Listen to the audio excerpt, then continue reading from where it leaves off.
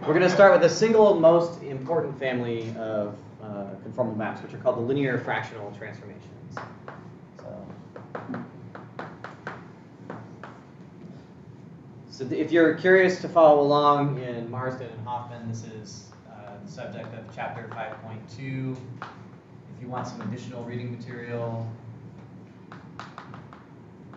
I'm going to be pulling in stuff from uh, a book by Sarason, which I will link the title of, and then there'll be a couple of web pages that I've pulled. The, when I put the Riemann sphere stuff in, there'll be some uh, some web pages on the Riemann sphere. But I'll, I'll link all this. The place to start, if you're interested in following along in more detail, would be in the Marsden and Hoffman book. So the definition is as follows. Uh, a linear fractional transformation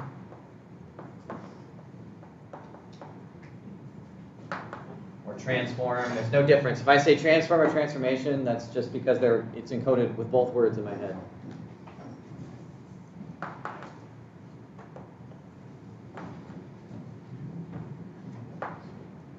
Uh, is a degree one rational complex function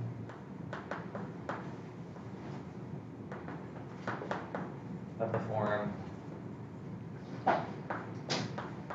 t of z is az plus b over cz plus b.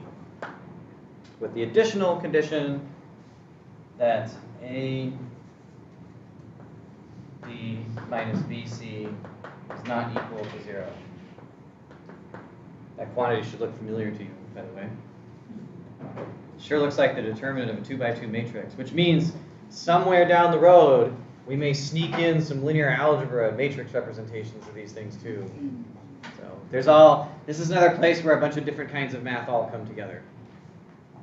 So for now, we'll leave this alone. Question though would be, why do we exclude this case? It's up in the notes too. I'm not going to tell you the answer. You can think about it. Question. Why is this excluded?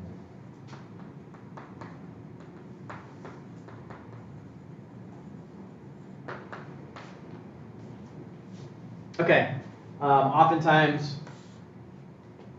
it's shorter just to write LFT for linear fractional transform. This is an abbreviation, especially when I have to write it on the board. Um, and then the thing about LFTs or linear fractional transforms, they are complex functions of degree one. Uh, they have so t of z is equal to az plus b over cz plus d has a simple pole, or pole of order one.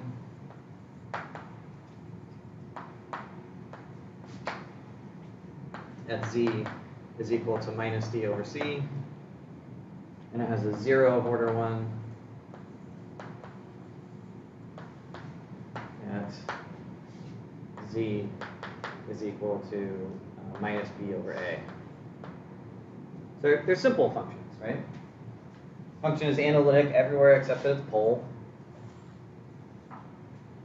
And the idea is that these are sort of the basic building blocks of uh, conformal maps in some sense, or the theory of, of conformal maps.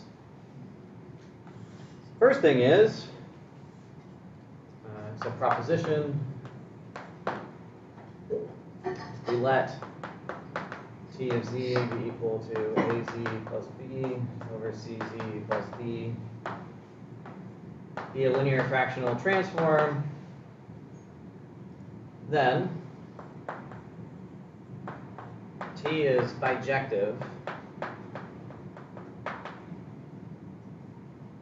and conformal.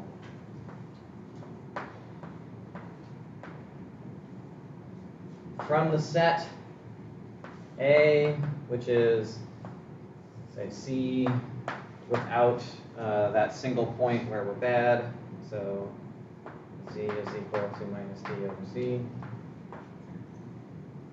Two, the set B, which is the complex numbers, uh, minus the point where W is equal to minus D. I have this backwards. I've done something wrong in the notes here. I'll have to fix that. Okay. So let me come back and uh, make sure that I fix this at some point here. So I'll be careful with the sets in a second. We'll say on A. And this should be to the set B, uh, where it's C without a point that we will write down when I write down the, the inverse. So if I claim that it's bijective, I'm saying that the function has an inverse. I don't remember the formula for the inverse off the top of my head. So the inverse function, t inverse of w is equal to minus dw plus b over cw minus a. It actually tells you where the what point is excluded in the, in the inverse, right? So w can't be equal to a over c.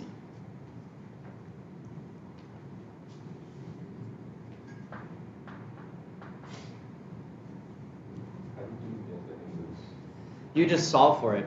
This is like, it's literally just a, like, I mean, the proof of this is going to be, I'm going to write the, plug one formula into the other and show that z falls out. Right? I mean, it's, it's just literally a, like a proof by uh, computation.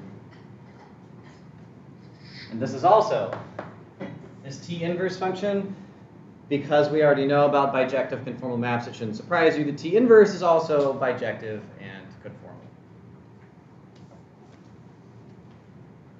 It has the right form. So note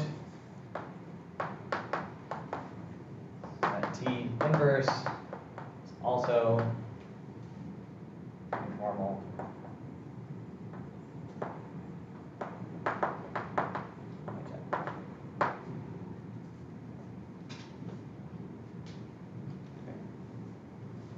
Okay.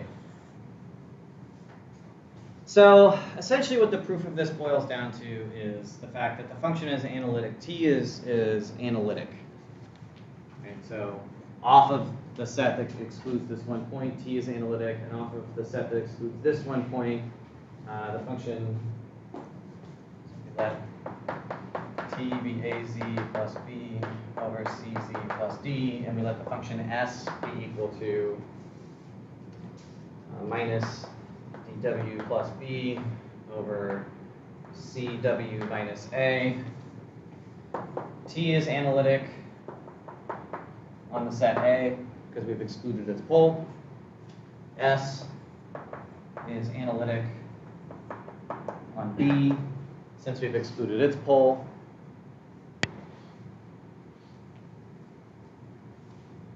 So really, they're already analytic. So then if we want to finish this up, all we've got to show is that these functions are inverses of each other, which will get us the bijection. These are inverses, we're going to get from this set to this one, we'll get the bijection that we're after. So the proof is, this is the, one of the ones where I get to say left to the reader because like the proof. So now, all you have to do is show that S or that T of S of W is equal to Z, which is algebra.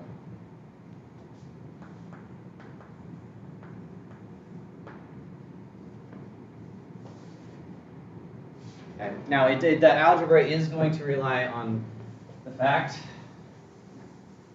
that we have an excluded value of uh, z here, an excluded value of w here, and the fact that by definition, uh, we know that AD minus BC can't be equal to zero. So there's going to be one step in the algebraic manipulation we'll need to know that.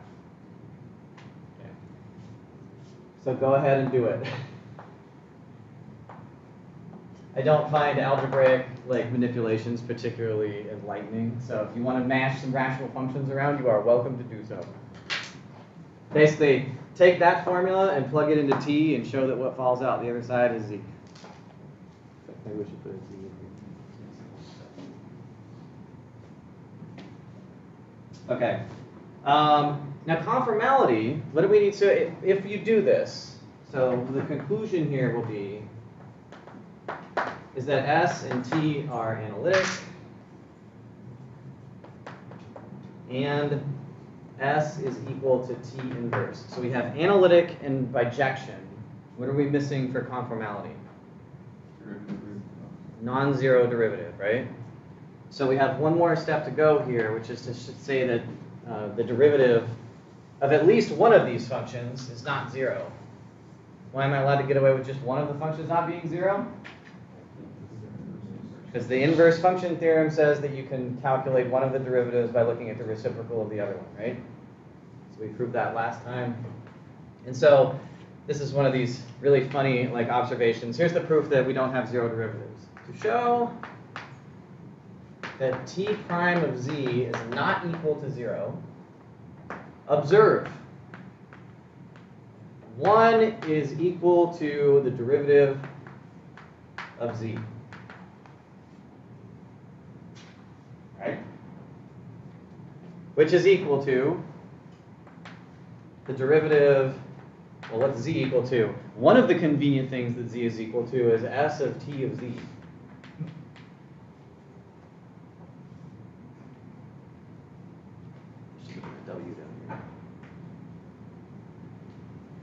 But I can use the chain rule to say that this is s prime of t of z times t prime of z. But now I've got something not zero being equal to a product of two functions for all z, which means neither one of them can be zero. In fact, we could even, if you want, if you guys really want to beef up your 248 level double, you know, methods of proof here, you could invoke the zero property. By the zero property, Neither one of these things can be zero, so t prime of z cannot be equal to zero, and so t is conformal. And because conformality is preserved by inverses, also t inverse is conformal.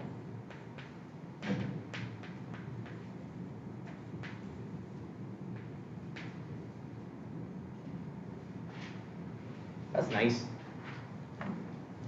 Okay. So, here is where I get to say something. Uh, yep. Please. I, uh, how do we know that there are no zero divisors in the field of complex functions? Well, these aren't, right? Where these are just scalars. This is a scalar expression. So we're not working over an algebra of functions here. This is just a scalar uh. expression. You pick a z, right? Any z that you plug in, you produce two scalars. So this is the scalar zero property. There's no weird quotienting thing running around in the background or like some subset of zero divisors. Okay. Okay. Yeah, I mean that's like that's one of those things where you got to be careful. But I mean you're right. If we were thinking about an algebra of functions instead, we we would have to be a lot more careful about like showing that something is an algebra, for example.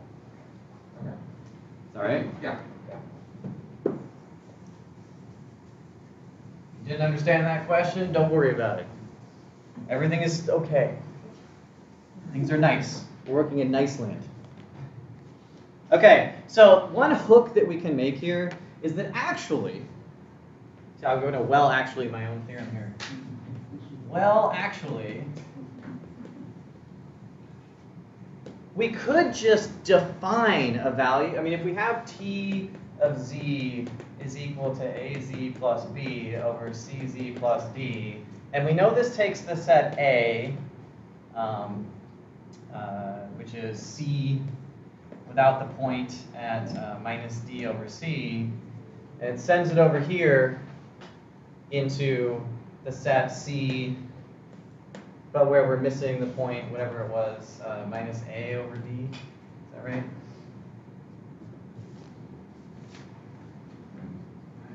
A over C. We could fix this. It's kind of annoying to have a function, kind of annoying to have a function that has deleted one value. If only there was a convenient place where we could send it positive A.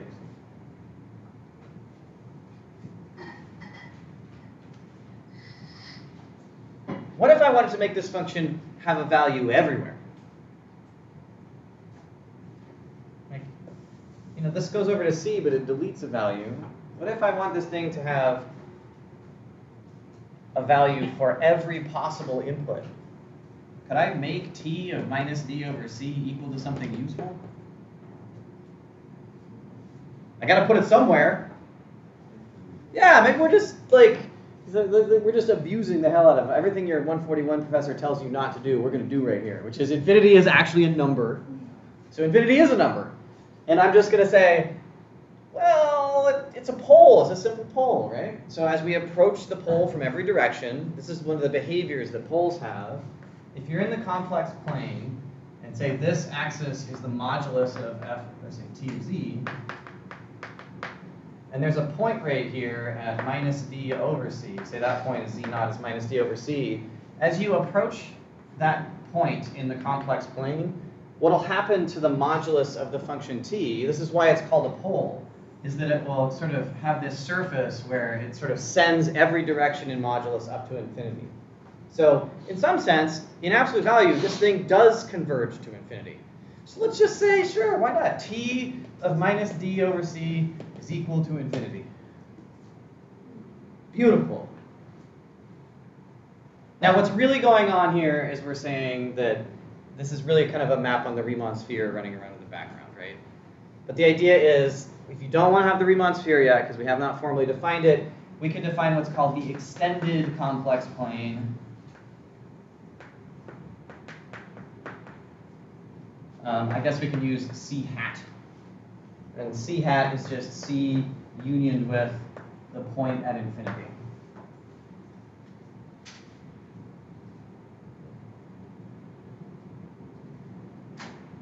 And if you make that addition, this thing is conformal on all of C. Don't look at me like that. We fixed it. Now it's conformal everywhere, see? So with this patch,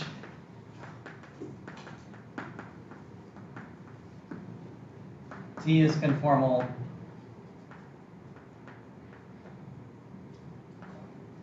on C.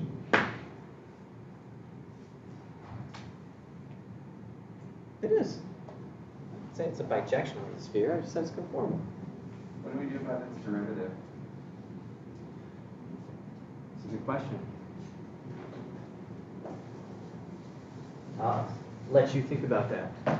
In fact, I mean, so I mean, just think about it for a second. If in modulus this thing is like is is whipping off to infinity, one thing that you could show, you, you could actually.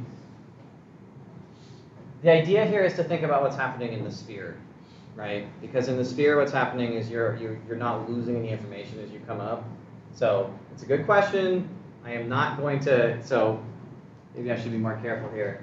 I'm going to say this without proof right now. What you should think, right? For the first thing is you should think, so- in some sense, it's analytic if we do this assignation, and then with a little bit more work, which may show up in an exercise, then we can think about then we can think about what it would mean to be conformal at a point that's being sent to infinity. The opposite sphere, the derivative. It's not what the derivative being zero means in this sense, because it's a two-dimensional derivative. I, I'm, I'm just, I know, but I so I have a younger brother who used to troll me by asking me questions that like he knew I knew the answer to that were really obvious, and so I've been trained over my whole life to answer every question, which is which is a strength when you have little kids and a weakness in the classroom. So because I'm capable of being like I am definitely one of those professors that's capable of being trolled into wasting time, like I'm doing right now. Okay. Um, right. So we should think real quick about what sort of functions show up in here. So one of the homework questions I asked you guys was to show that if you have something like f of z is equal to az plus b, I asked you guys to tell me like why this thing represents a rotation, a uh, magnification, and a scalar shift, right? This is one of the homework questions from this week. And the idea was that you could write f of z is equal to, if I just took a function of the form az, and I wrote that down, well, you could think about that as r e to the i theta, so you replace a with its polar form, multiply it by some complex number z, and you can see that anything of this form, where a was constant, magnifies every complex input by multiplying its uh, input by r, its uh, radius by r, and it rotates it by an angle of theta. So the function az represents a magnification by r and a rotation by theta. And the thing is, you can get that function out of the class of linear fractional transformations without violating the idea that AD minus BC is not zero. Because if you have T of Z is equal to AZ plus B over CZ plus D, and you let D equal one, and you let B equal zero, and you let uh, C equal zero,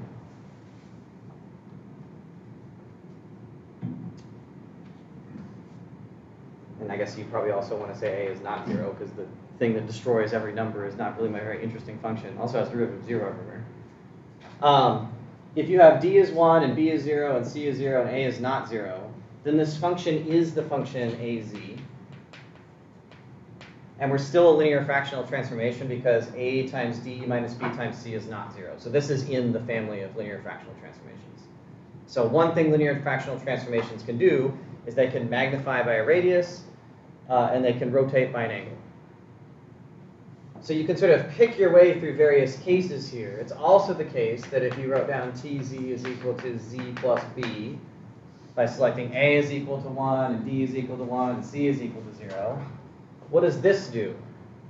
So if you started with a point, so here's b up here, and here's, uh, say, I don't know, there's b, thinking of it as a vector, here's an input z down here, if you apply the map t, this is where you get translation, right? So every input z has been like translated to the point z plus b. So this is translation by b. Yep. So in these transforms, all the coefficients are complex. All yeah. So this is these are not real values. So when we're talking about these things, a, B, C, and D are complex elements, yeah. Now the real versions of these also make sense. You can define these things for real values as well, uh, but that's a pretty limited subclass of them. Sorry, I should have pointed that out when I wrote the definition down.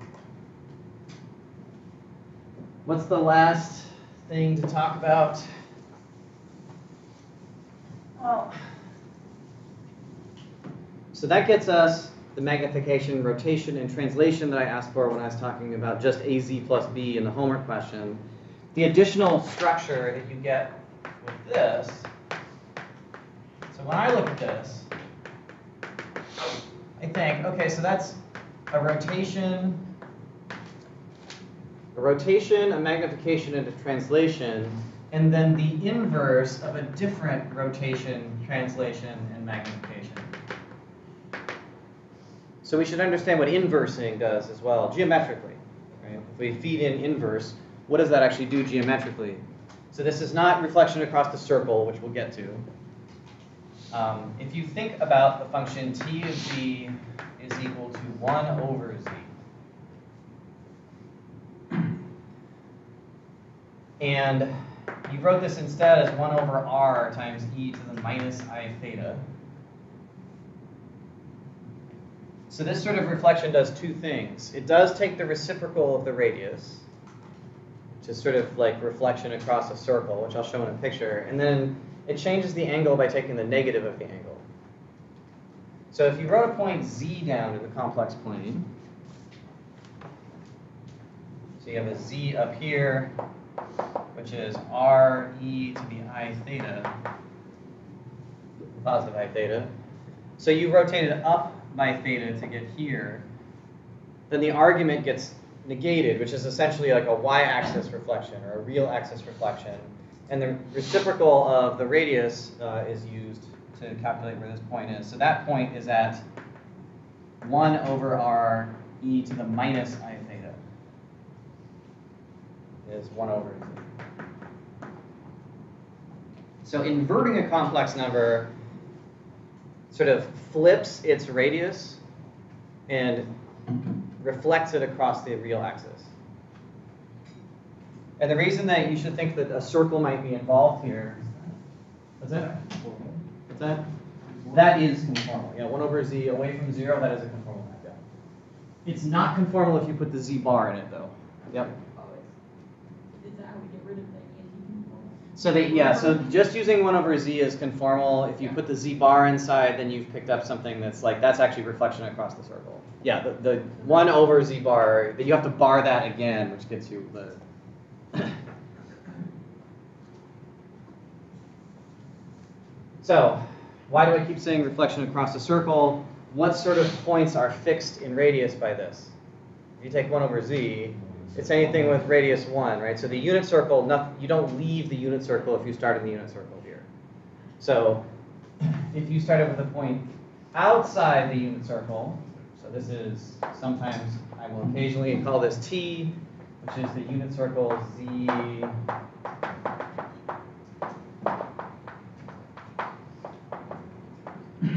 if I drew my same picture that I started with, if I start with a z outside the unit circle, z is equal to r e to the i theta, and I took its reflection, I end up inside the unit circle, right?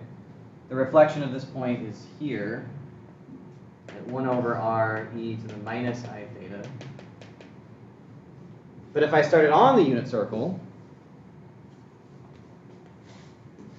with just a e to the i theta point, say I have a z here, and I go the other direction, it just reflects down.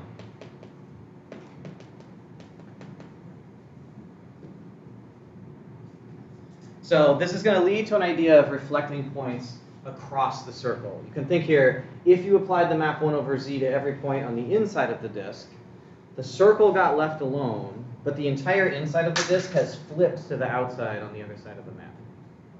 So this is somehow taking the inside, this 1 over z map takes the inside of the disk and peels it apart and rolls it out to the outside. And it takes the outside of the disk and it peels it to the inside, so it flips.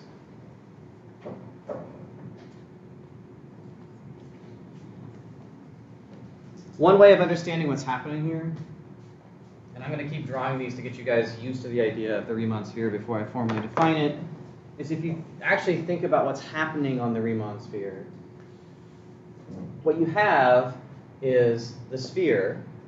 There's a circle on it that is the unit circle. And what you're doing is you're taking the uh, a point on the bottom half of the sphere and you're just lifting it up to the top half. Right? So 1 over z is sort of flipping the top and bottom of the sphere when you do that.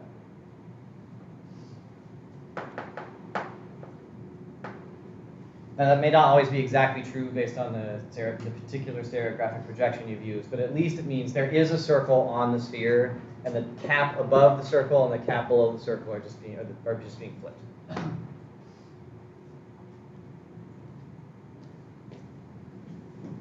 All right.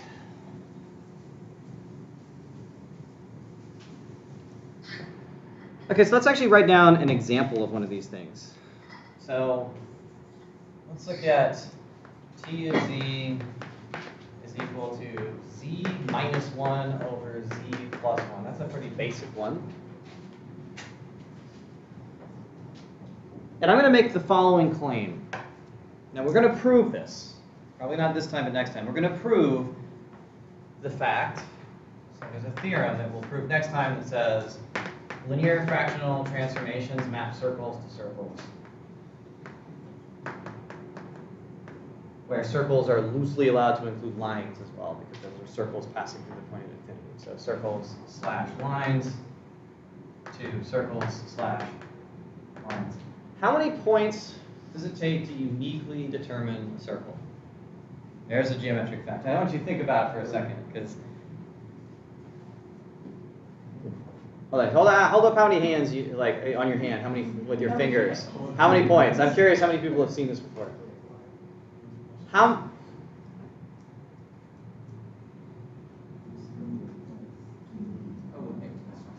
Yeah, I know. Okay, so I'm gonna make a claim. There's a minimum number of points that determines a unique circle. A unique circle. So two points determine lots of different circles, right? The question is, how many more points do you need to add into the mix to get a unique one? So it's it's the answer is three, and the, the reason is if you think back to your high school geometry, it's one reason anyway, is that any three points that are not collinear form a triangle. Probably at some point in your life you've constructed the the, the intersection of all the perpendicular bisectors, which is called the circumcenter of a triangle. So the circumcenter of a triangle turns out to uniquely, I'm not even going to try here. Uh, maybe I will. Uh, uh, okay, so right there. So there's going to be a circle centered at that point that uniquely determines the circle that passes through these three points. So three points that are non-collinear determine a circle. If they are collinear, then they determine a line. So three points is either going to give you a circle or a line. Any set of three points determines, I'm going to use the word, a unique, man, in the notes I said I wasn't going to do this, clircle. There you go. I said we were going to avoid this dumb word, and here I am using it. But the idea is, if you give me three points, either going to be a line, or if they're collinear, a line falls out. If they're not collinear, you get a unique circle off the other side. That's that? Distinct. These are distinct. I know, I know. I got the definition right. Distinct points. Yeah, we don't want to deal with the degenerate cases here. So distinct points. Okay. So what that's going to mean is, if three points that are distinct from each other determine lines and circles, in linear fractional transformations, take circles and lines to circles and lines. To analyze what one of these functions is doing, you only ever have to look at three points.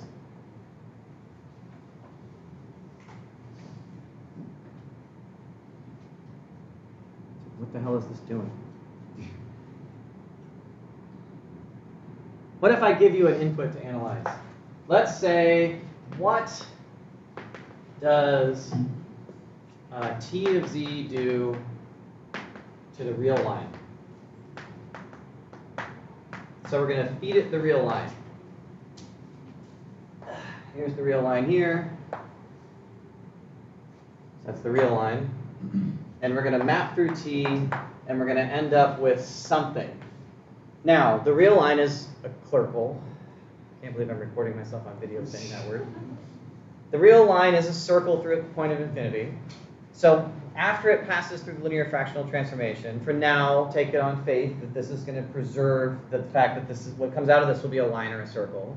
So if I can find three input points on the line, those three points will determine something on the output side. Well, see what they determine.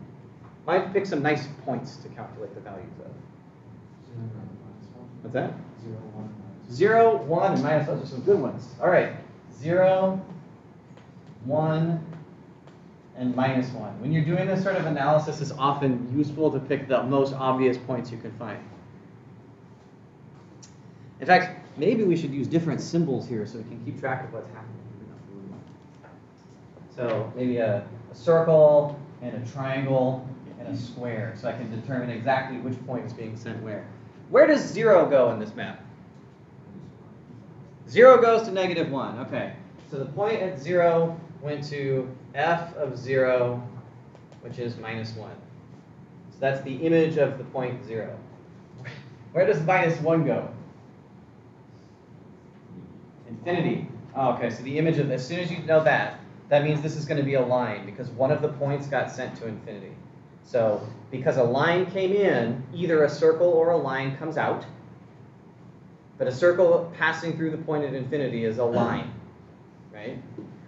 I, this I'm doing this, this is not a hard example, but I'm doing it to get you used to the idea this is how this geometry works, right? So that map sent something on this line to the point of infinity, which means a line came out the other side. Okay, so we're going to store that information. This point is at uh, uh, infinity, which is f of uh, minus 1. See, you, you're, you should be shuddering that we wrote that down, but you know what? We're allowed to do so. Where does 1 go? 0. Okay, so 1 went right here. Oh. Okay, any three points determine a unique line in the complex plane, including those that go through the point of infinity. So what came out? The real line came out the other side. The line goes through these two points, and then also out here, it passed through the point at infinity on both sides. Yep. I'm just confused how a one-to-one map could not map like a circular line to a different circular line as long as it says the three distinct points. to three It has to do with the fact that the um, so these maps are so every analytic map with non-zero derivative is rigid, right? So it's angle preserving. if you drop the condition that you have, um, so like an easy thing to do would be look at what does z squared do? z squared is perfectly analytic function, right? What does z squared do at zero? Now we did this example where we looked at the effect of z mapped to z squared, and we looked at what that did to lines through there. What came out of a line through the origin when you did that was something that was distorted. You didn't get a line or a circle out the other side. You got something that had been stretched in a weird way. So parabolic arcs come out that go through there. So circles through the origin don't stay circles through the origin. Z squared doesn't take circles to circles. Right? Yep. In this example, I understand we have to get a line, but how do you know if one of the points goes off to infinity and you don't just get a giant circle? It is. Look at it. It's a giant circle. It's the biggest possible circle. How much bigger could it be? It got all the way there, man. So- in the Riemann sphere, the idea is that what's happening here is that this that this map is really taking a great circle to a great circle. The answer is it really is the case that this this is part of the reason why we introduced the extended complex plane, so that we can actually say only one of the it's a linear fractional map, right? Oh, so. That we have degree one. So it's a degree one rational. It can only send one single point to infinity. There's just one place where that can happen. So you can't get multiple points sent to infinity and get some sort of like loop that passes through the, the infinity twice. Although that is possible if you start increasing the degree of your maps and you're working on Riemann surfaces, which is beyond the scope of the course, but fascinating. So yeah, it's only because these maps are so simple, right? These are the building block maps. They only do this with one point can get out to infinity. If they send a point to infinity on the line that you've drawn, then that function um, sends lines to lines on the input. If it doesn't go to infinity on the line that you've drawn, then you send the line to a circle instead. In fact, we're gonna let's do the imaginary axis. Let's walk through So this. what this did on the Riemann sphere was take the circle and just rotate it. Yeah. Yep. Yeah, so this, on the Riemann sphere, yeah, if you're curious about the geometry here. Now, the one thing to keep track of is, if it may not just be a rotation, we could actually keep track of where, which side of the plane got sent to which side. So if you put in the point I, well, put in the point I, right? That would tell you, okay, so I is in the upper half plane, right? So if you put i in here, you get i minus 1. So f of i is equal to i minus 1 over i plus 1. Oh man, I'm going to have to simplify this. All right, so it's i minus 1 squared divided by, yeah, this is like, um, so I should do what? I plus 1 times i minus 1. Clear out the complex conjugate there. Yeah? So I get minus 1, I got so minus 2, so I have i, i squared minus 2i plus 1 divided by minus 2, which is 1, or sorry, negative, so it's minus 2i over minus 2, which is i, so yeah, it is just a rotation in this case. Now, why do I say that? I put an input value in, I tracked to see what its output turned into, and with conformal maps, it's enough once you know what happens to the boundary to track one point in the interior, in, in, on one side of this thing. We'll keep track of what the map did. So we put in the point at i. We got out the point at i, so somehow this fixed to the point at i. And that meant that the entire upper half plane got mapped to the upper half plane. Yep. And since the ordering of our circle and triangle points is preserved, all we did was take our great circle dial, Yeah. sort of. So it so so what you yeah so what you should think here is this thing twisted, but it doesn't necessarily mean that all these points stayed in the same spot, Yeah. right? Here, you want even more infinite geometry weirdness?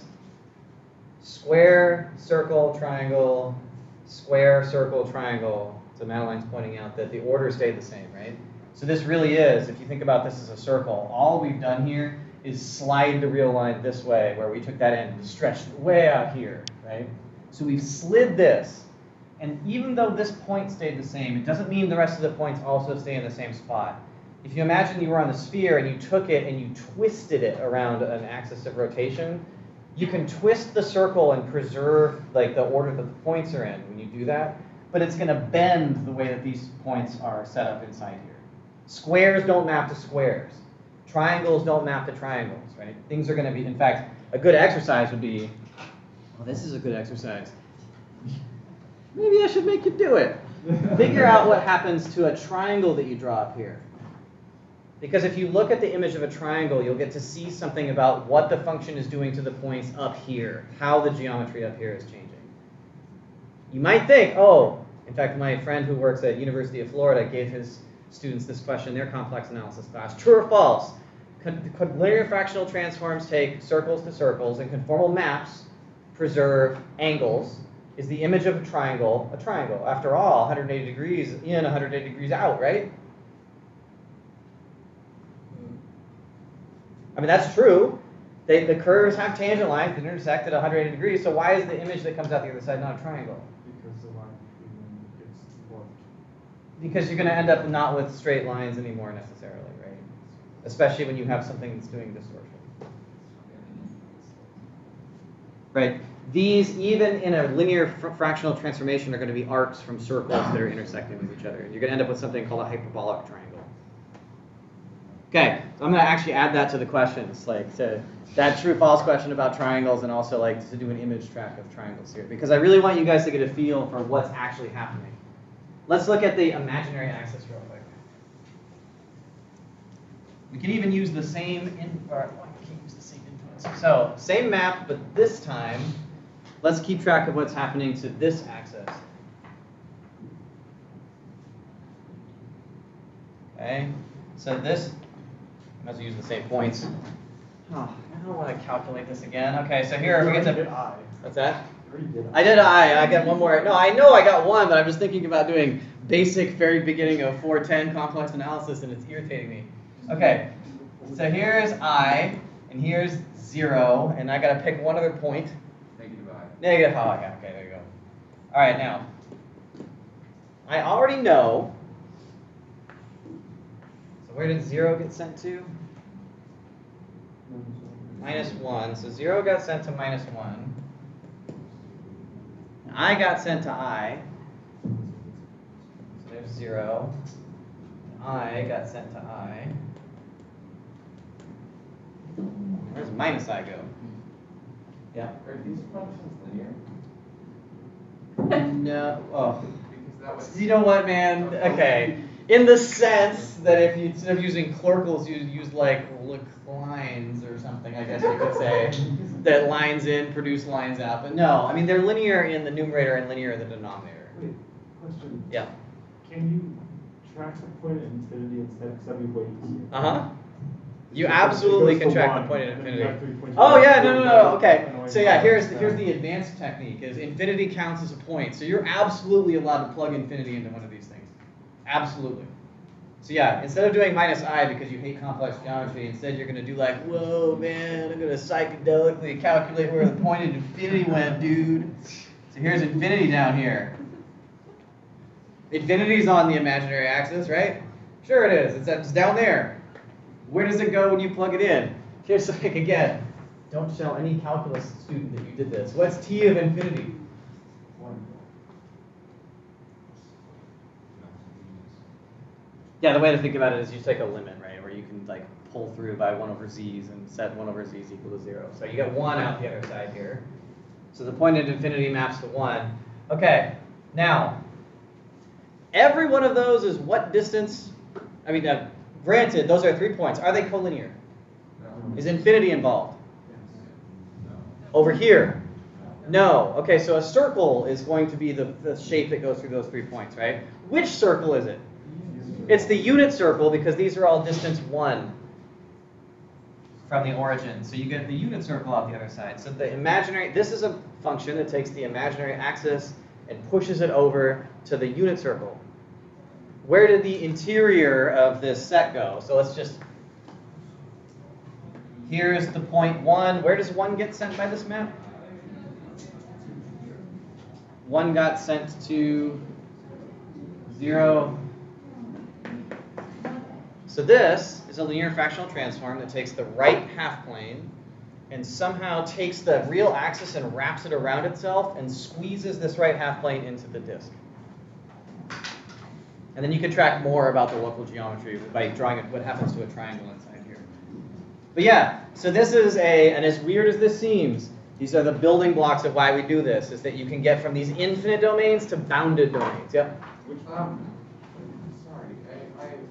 how can you have the circle with the entire right half the plane and the real line being mapped to the same place? Because this part of it, if you uh, if you took one more like segment here, so this bit right here, that goes right here. Oh, okay. So there, there's the image of the right half line is is like on this axis right I here. forgot complex numbers can also be real. Yeah. All right.